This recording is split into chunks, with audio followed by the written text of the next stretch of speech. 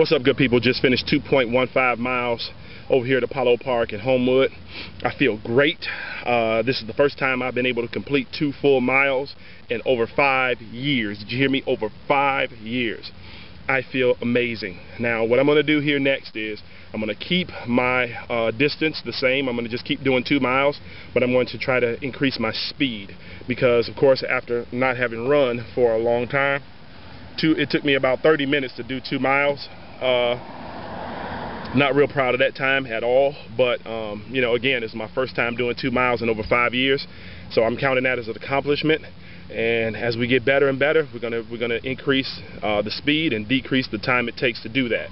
You guys with me here? Are you with me? Because I'm doing this thing.